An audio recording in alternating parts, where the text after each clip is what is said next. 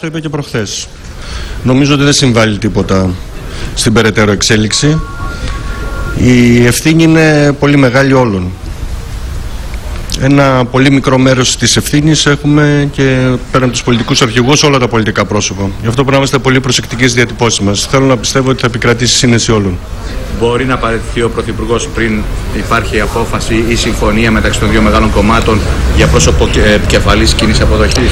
Νομίζω ότι κακώς εξαντλείται η συζήτηση στο τι μπορεί και τι δεν μπορεί. Τα πάντα μπορούν προκειμένου να σωθεί η χώρα από την άδεια Πάντως η συζήτηση, κύριε Ξυνίδη, είναι αυτή. Δηλαδή, ο κ. Σαμαράς ζητεί καθαρά την παρέτηση Παπανδρέου για να ξεκινήσουν και να ξεμπλοκαριστούν όλες οι, οι περαιτέρω διαδικασίες.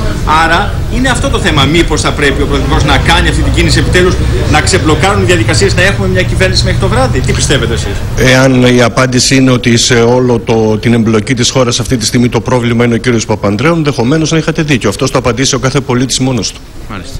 Μάλιστα.